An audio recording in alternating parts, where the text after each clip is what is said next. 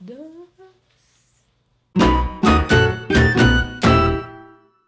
artistas, ya es jueves de clase y como ya saben ya llegó la primavera, ya todo comienza a florecer, así que también nuestras ideas tienen que empezar a florecer y en la videoclase de hoy les tengo un diseño preparado para esta primavera en donde mezclé algunos glitters hermosos que por ahí tenía en el cajón y que nunca usaba. Y también vamos a hacer algunas florecitas en 3D bien facilitas, pero se ven súper, súper vistosas.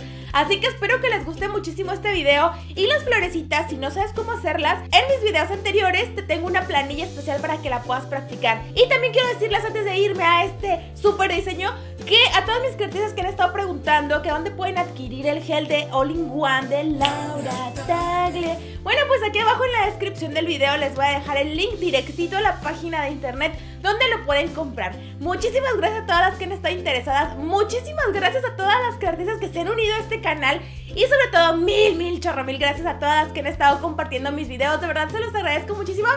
Y ahora sí, vamos a ver este diseño para la primavera.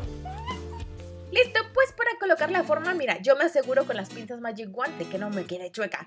Y pues aquí están los tres glittercitos que yo les decía que nunca utilizo y de verdad que los encontré así en el fondo del cajón y dije, no, en este diseño los tengo que utilizar. Así que coloqué dos cucharaditas de acrílico transparente por una cucharadita de nuestro empujador de cutícula del glitter que tú hayas elegido.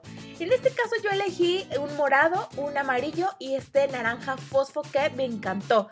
Y te doy un tip, si tú vas a utilizar un poquito más de mezcla, pues bueno, entonces puedes utilizar tres cucharaditas de acrílico transparente por una de tu glitter. Esas son las mezclas, las dos proporciones que tú puedes utilizar para que tu mezcla quede perfecta y que luego los brillitos no estén de un lado para otro o pegadísimos en el pincel.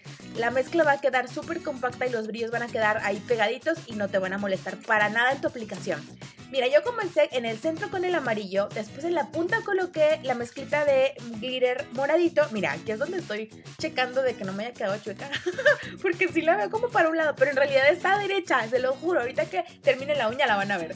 Y en la parte de la cutícula eh, empecé a difuminar el color naranja. Esta base está súper bonita. Mira, antes de que seque la base, puedes colocar tus pinzas y así asegurarte de que los laterales están bien definidos. Ahora vamos a encapsular con acrílico transparente.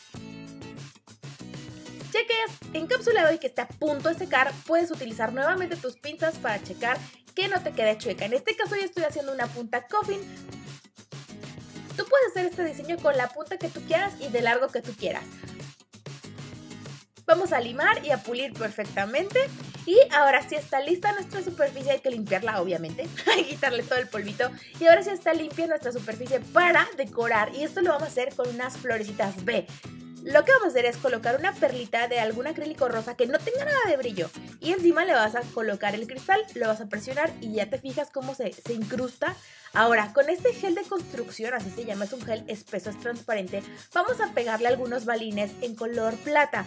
De ello lo estoy pegando con un punzón en todo, todo el bordecito de nuestro cristal. ¿Te fijas cómo ya se ve diferente el centro de nuestra flor? Ahora sí, vamos a empezar a formar los pétalos.